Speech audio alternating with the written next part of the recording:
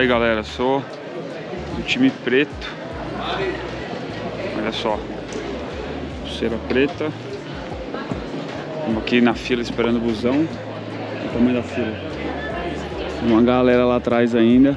Aí ela falou, eu acho que são umas 3 horas e meia para chegar lá na montanha Aí o jantar vai estar servido até as 11 da noite Amanhã, o café da manhã começa às 7 e é para encontrar às 11 Thank you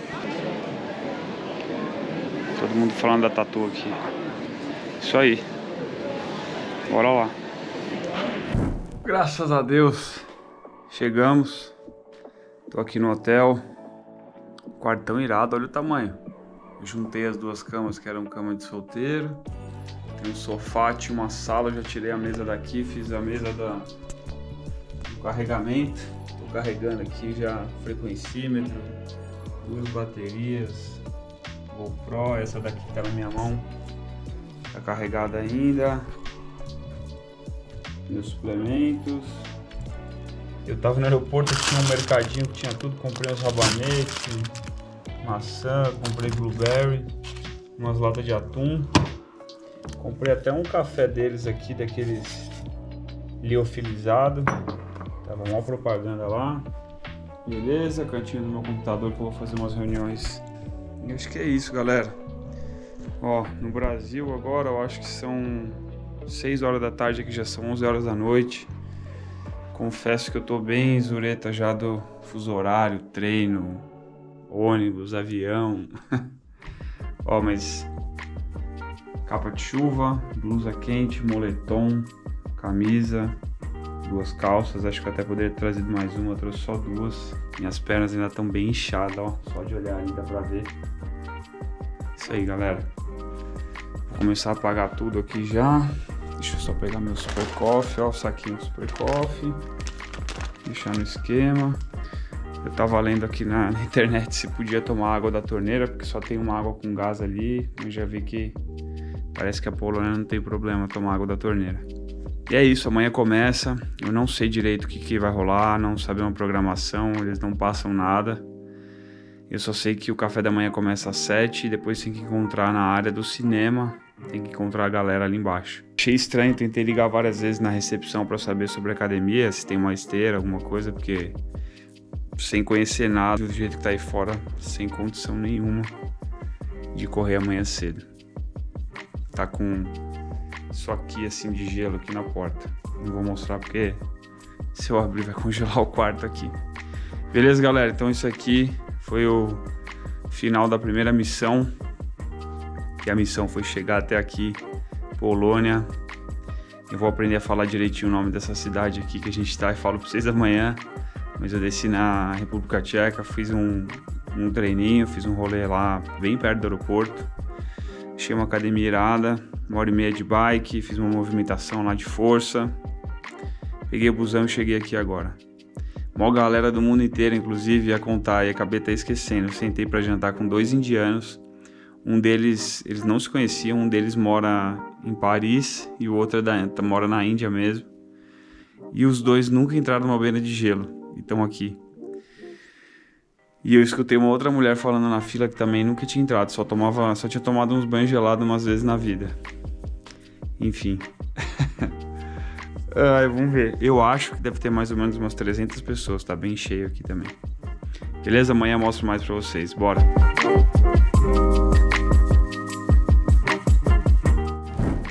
Bom dia. 6 horas da manhã aqui. Bora correr lá embaixo. O café só começa às 7. Vou dar uma olhada como é que funciona a academia. Se eu uma corridinha. e a água tá fervendo. O quick-off já, já tá na mão. Bora pro primeiro dia.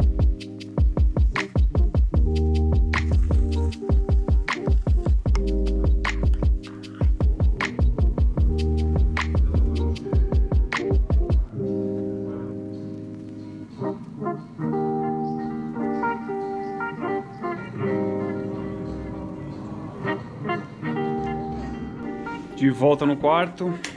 Primeira sessão, primeira vez, primeiro contato com o Inhoff. O bicho tem a personalidade forte. pra não falar outra coisa. Foi legal demais conhecer ele pela primeira vez. A gente deu sorte porque estamos todo mundo dividido em grupos aqui. O meu grupo é o grupo preto, a pulseira preta. E a gente terminou a dinâmica que a gente fez antes. Logo que a gente chegou, a gente fez uma dinâmica mais para se apresentar, para um conhecer o outro. Cara, vários países mesmo. Não encontrei nenhum brasileiro até agora. Não sei se tem. Não vi ninguém. No meu grupo não tem. Deve ter umas 20, 25 pessoas por grupo. E perto de umas 450 pessoas total aí. E logo que a gente chegou na sala onde ia estar o Inhoff, depois da dinâmica, né, agora cedo, eu, a gente foi um dos primeiros. Então eu consegui pegar um lugar bem perto dele. É, e aí ele falou bastante, se apresentou, falou um, um, pouco do trabalho que ele faz, falou um monte de coisa, enfim. Quem tiver a oportunidade um dia de conhecer ele vai entender o que eu tô falando. Fizemos a primeira sessão, no final do dia que eu vou sentar e resumir o dia para vocês, eu conto um pouco mais sobre essa, essa sessão de hoje.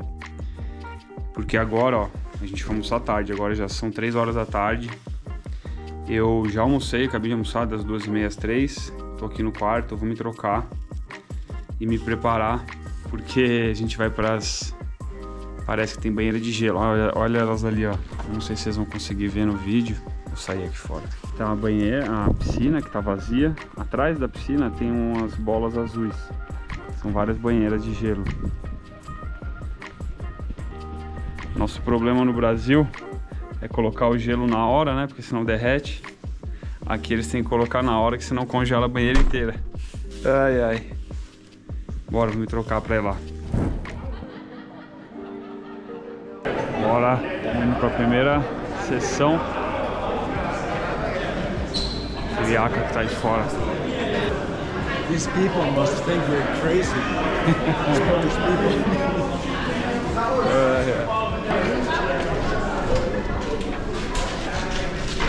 yeah.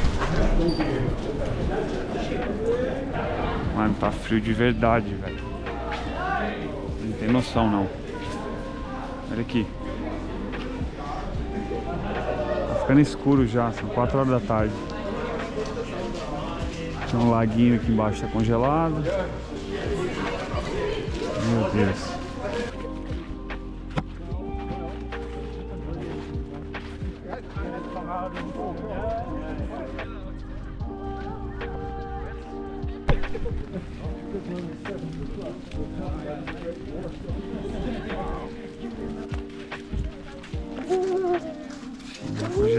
these other bots.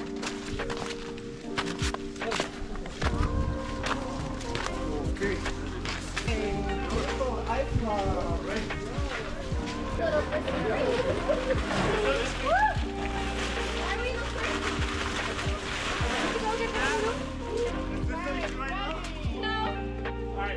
Everyone here for good boss?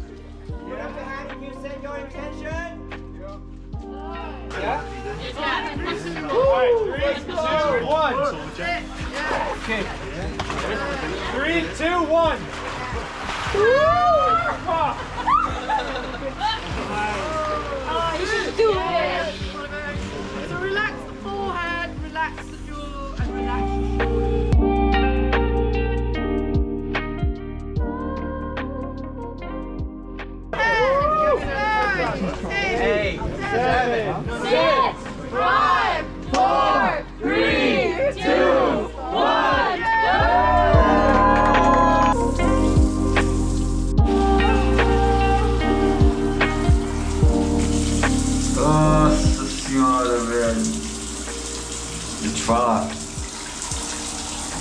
Imersão no gelo em casa há bastante tempo já.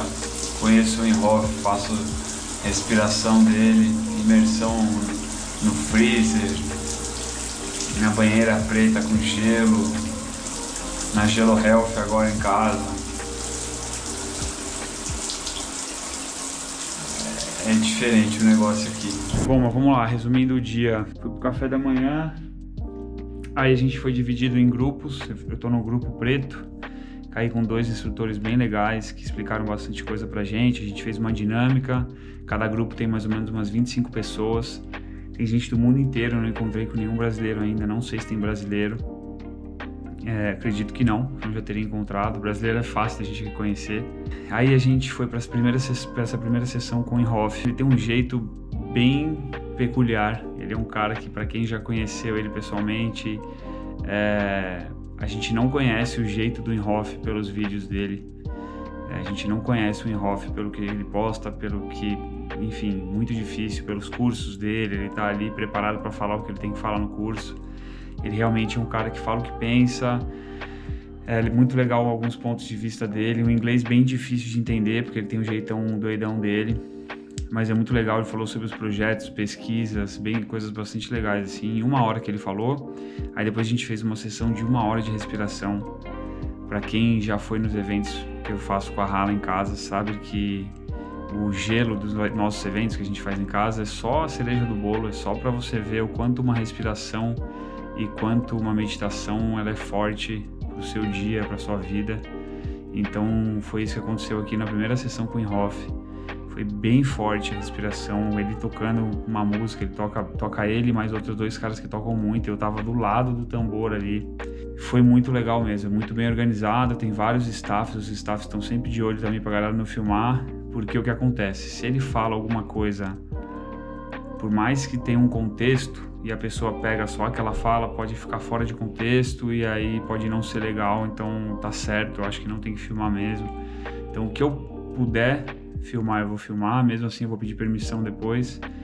E aí a gente coloca aqui para vocês, mas isso aqui é uma experiência. Então não é uma coisa que dá para passar o que a gente está vivendo aqui 100% num vídeo. O que eu vou fazer é passar o máximo para vocês de informação do que eu senti, do que eu vivi aqui.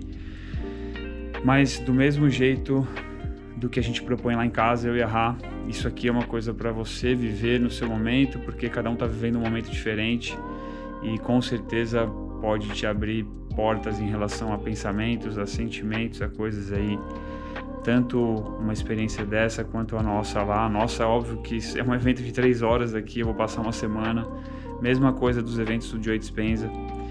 Então é muito uma coisa pessoal. Foi por isso, inclusive, que eu e a Rá decidimos abrir nossa casa para fazer o evento, porque a gente acredita muito na experiência. A gente adora a teoria, a gente adora estudar, a gente adora saber, porque a gente consegue acessar muito mais as coisas. Mas a gente é da prática, e a Rá, a gente gosta de passar pela experiência. E foi só o primeiro dia, parece que eu já tô aqui faz uns 5.